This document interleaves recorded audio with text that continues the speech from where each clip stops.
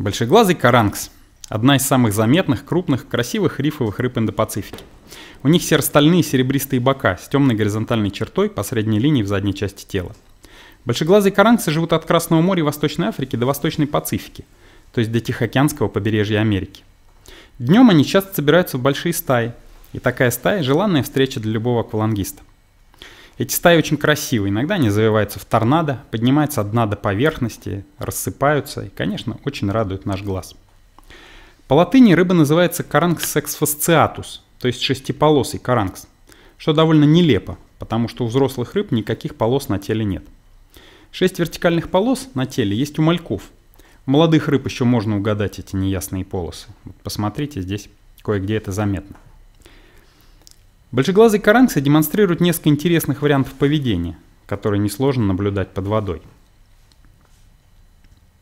Во время ухаживания самцы темнеют и, преследуя самку, становятся совершенно черными. Иногда вся стая разбивается на пары черных и белых рыб, как будто каждая рыба плавает со своей тенью. Очень красиво, здорово за этим наблюдать. Здесь показано такое поведение от самого восточного до самого западного края ареала.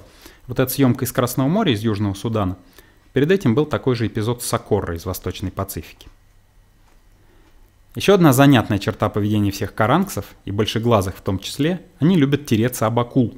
Часто прижимаются, трутся, чешутся об бока акулы. Видно, им это очень нравится. Часто можно видеть, как стайка каранксов поджидает акулу, прям бросается к ней и начинает чесаться. В книжках пишут, что они так избавляются от паразитов. Возможно, действительно шкура акул шершавая, как наждачка. Молоть большеглазых каранксов Пропорциями тела отличается от взрослых. Они короче и зрительно выглядят более высокотелыми. Спиной анальные плавники выглядят более длинными. Получается, они формой тела похожи на ладошку. Молодые большеглазые каранцы очень смешно реагируют на пукающий звук. Если вынуть легочник изо рта и сделать вот так,